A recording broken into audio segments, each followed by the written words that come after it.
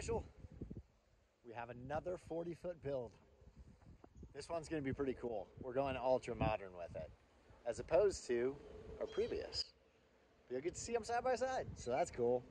So we just got this 40 foot high cube. Uh, it's used, but as you can see, it's in pretty good condition for a used. Well, not right there, but all the rest of it looks pretty good. So we're about to start cutting this thing apart. And uh, first we're gonna use this super awesome leveling system we have right there. There's Bentley and Danny. Uh, so this cool leveling system locks into these front pins um, and that, or the rear and we can actually manually adjust each side and we'll get it all set right where we want it put some blocks in or some wood chunks and or both and then go back there do it again and this time we're going to make sure we support it in a couple of extra places because we're going to be cutting out side panels from floor to ceiling and we don't want it to deflect while that's happening so anyway danny get out of the street come here danny inside get in here what are you doing takes a second just because I'm on the video, whatever this is, video phone. Come on, inside. What are you doing? Crazy pup. Pushing the limits. Pushing the limits. Okay, so, um, ADD, I forgot what I was saying. America. So, yep. That's all I got for right now. My dogs are just kind of going crazy.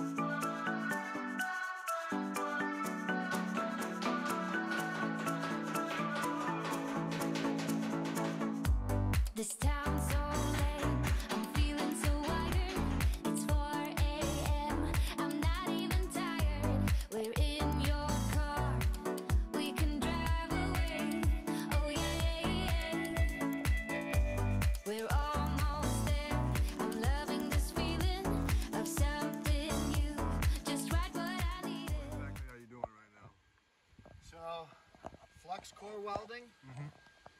And then this is a little hammer tool, mm-hmm. which not only chips off the little residue that's left behind. This is like slag, kind of. Okay. You chip that stuff off, so it leaves you nice hammered welds. But this also strengthens welds. So while it's still hot, you kind of tap them out and hammer them in, and it actually makes the welds nice and strong.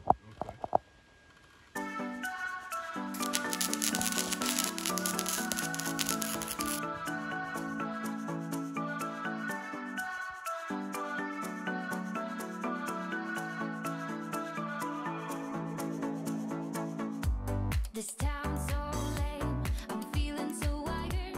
It's 4 Okay, it's super windy. Yo.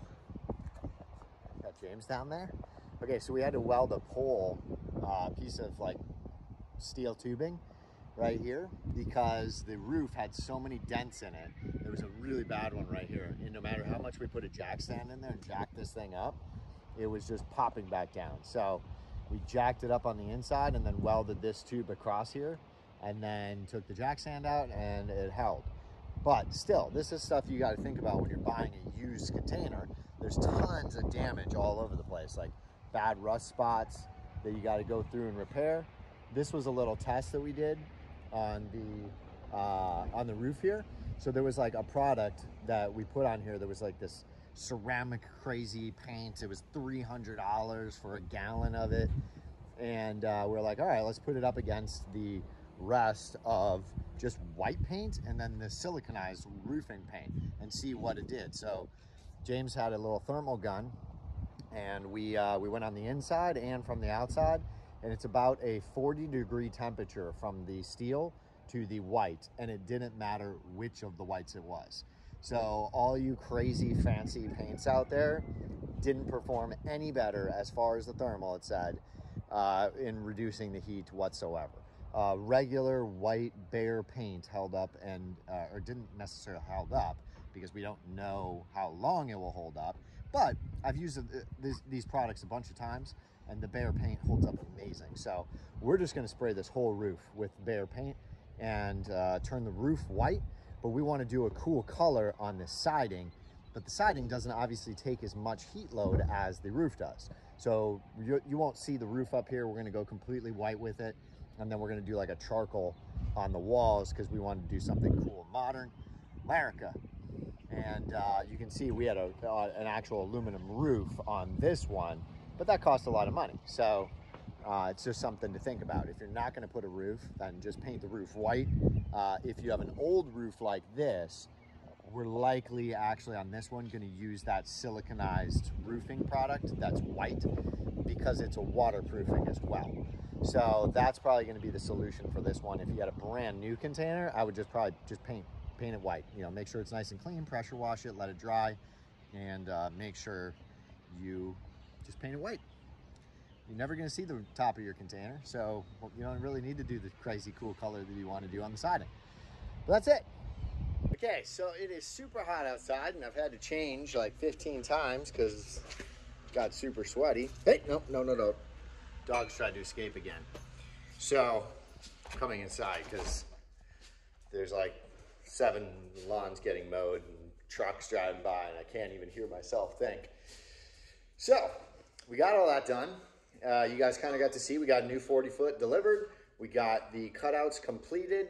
We got the uh, all the welding done, which went real nice and smooth. And if you were wondering, it's a two by four, so it's an actual two inch by four inch, not like two by four lumber, which is inch and a half by three and a half inches. But uh, the steel actually comes two inches by four inches. So the steel or the aluminum frames that we're going to be installing in this, because we're using storefront glass, is actually four inches thick. So that's why we picked that exact steel. You got to see that cool, we designed a new little lip at the top of the windows that will kick the water off. I think I got super sunburned. Um, but you can kind of see, you know, it. We we've been modifying and coming up with new designs as we go because we've seen like you really don't want the water to roll off the roof and then go directly down the glass. So it's nice to have some type of drip edge or something you can kind of kick the water off the top. So that's what we went ahead and did, design that. Uh, it also gave it a little bit better of a waterproofing edge up there. So we got all that done. It was a little bit of extra welding, but in the long run, it will pay off. So on the next episode, we're going to be painting the roof, which we kind of showed you a little bit, but we did some really cool thermal imaging with the uh, FLIR, FLIR. Um, it's a company that specializes in thermal technology. So we did some really cool tests with a thermal gun that I own and we were able to go in the inside and you could actually physically see the areas that were painted white versus the raw metal through the insulation. So that goes to show you how insane the uh, heat reduction is just by doing something as simple as white paint. But on the next episode, we're going to be covering that and then also painting the exterior and what we did to prep that used container to get to that point. So as we say, make sure to like and subscribe like every other person on YouTube. It does help us. Um, that's it. That's all we got. We'll catch you guys on the next one. Containing luxury and all these crazy puppies are out.